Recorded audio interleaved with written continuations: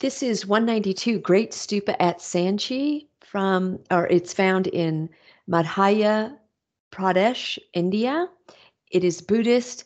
It was from the Mauryan dynasty is where it started and then went into the late Sunga dynasty. It's 300 BCE to 100 CE is when it was made out of stone masonry and sandstone on the dome. There are four images associated with this Buddhist piece. The context for it is that the leader of the Mauryan dynasty, a guy named Ashoka, had control of all this blue, didn't have this little area called Kalinga, and he invaded with a huge army and was ama- amazed at the end of the war about how many people he had killed 100,000 people. So at that point, he swore that he would, con- um, not necessarily convert, I think he was already Buddhist, but he would become uh, a very Buddhist leader. And so, to that end, he made these rock edicts all around India that proclaim all of the peace loving virtues of Buddhism.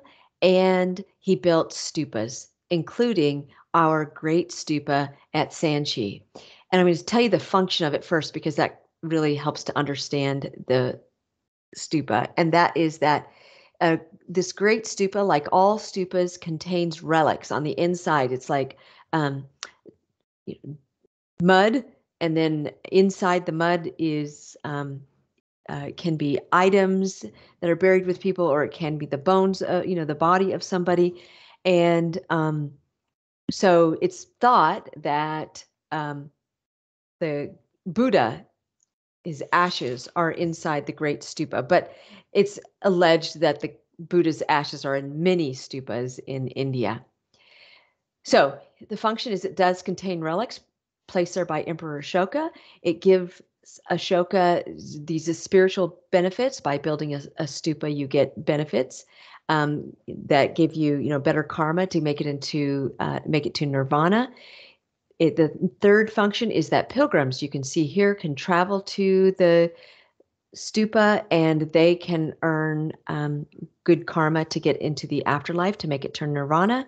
And the fourth function is that here's the great stupa, and here is a thriving Buddhist community around it. Look at all these stupas. So these are all kind of like burial mounds. Um, and so it's a part of that community of learners and worshipers.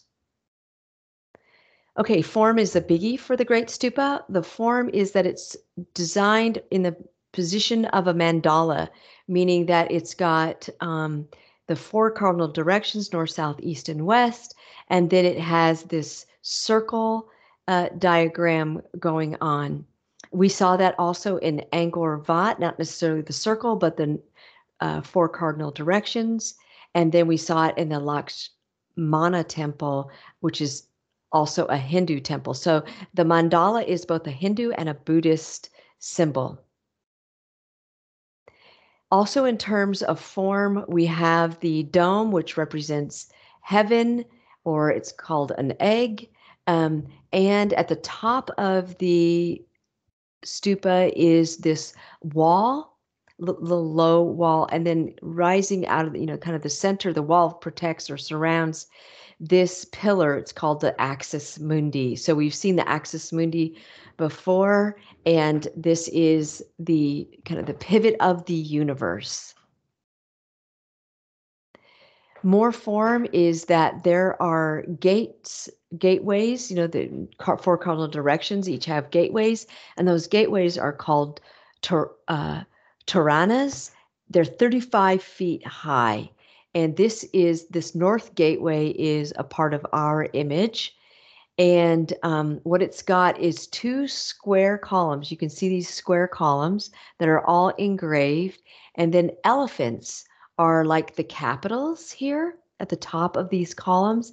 And the elephants hold up three architraves that have and you can look over here at this one. So here's the three architraves and they hold up um, or have these scrolls in, scrolled ins, and it is carved in high relief.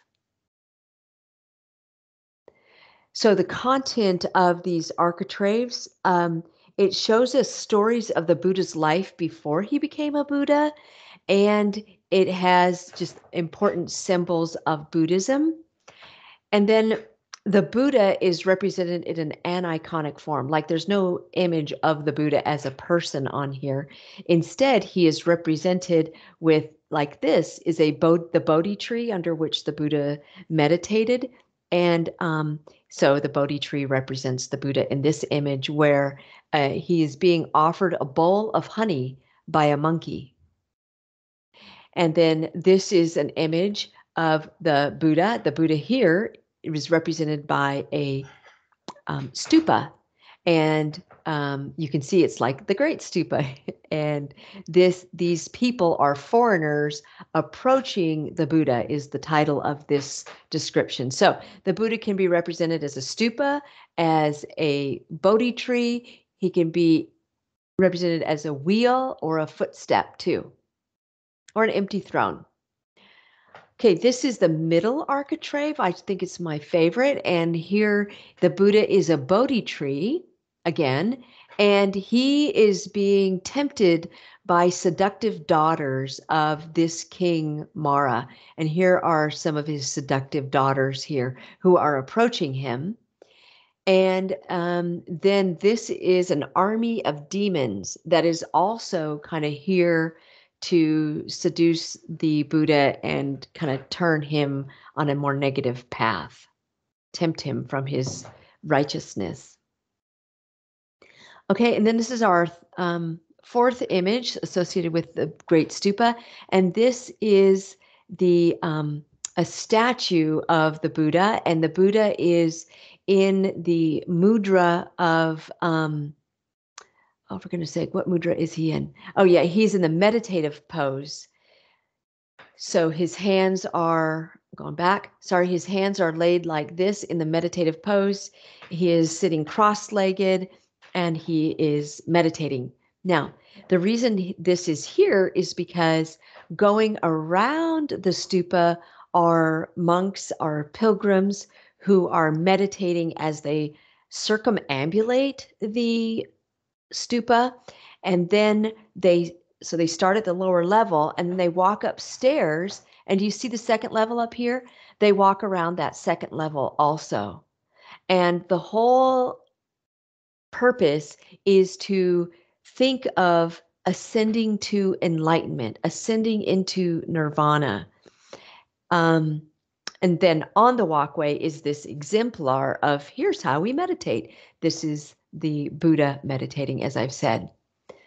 So, seated Buddha, meditation pose, and he is um, he, he's emitting rays of light. You can see that here in this um, like halo behind him. Here's a better example. And you can see these little like triangles. These are rays of sunlight, saying that he's an example of how to meditate and he has reached enlightenment, but he is showing the uh, circumambulators how to get to this enlightenment and nirvana. Okay, so this is the Great Stupa at Sanchi in um, Pradya, India. It is Buddhist. It was created during the Mauryan and the late Sunga dynasties, 300 BC to 100 CE. It's made of stone masonry and sandstone is on the dome.